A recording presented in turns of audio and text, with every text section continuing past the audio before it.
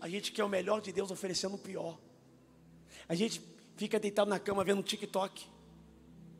Pula para o Instagram. Pula para o YouTube. Dá uma passada no Facebook. Quando está aguentando, tu, ah, eu tenho que orar. Aí tuas oração ruim. Xoxa.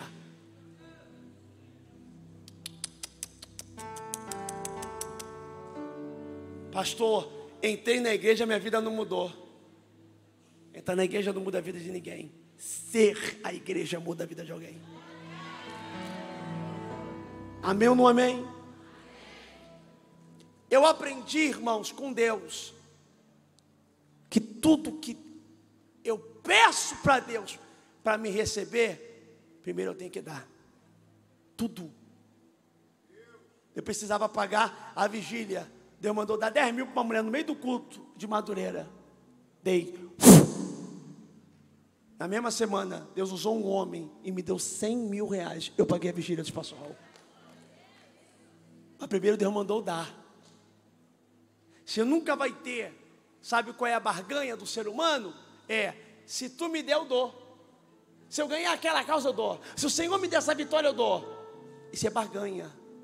Por quê? Porque eu não dou quando eu ganhar. Eu dou para ganhar.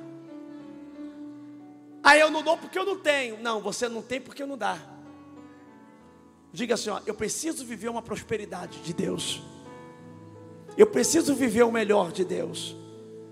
Mas eu preciso aprender com Davi que o prazer de ofertar é muito poderoso. Eu tenho prazer em ofertar. Davi, Davi, eu tenho prazer de ofertar. Davi, quando ele foi oferecer um sacrifício para Deus, que ele chegou na eira de Araúna, Araúna falou assim: ó, meu rei, fique em casa. É uma honra, rei, tê-lo aqui na minha terra.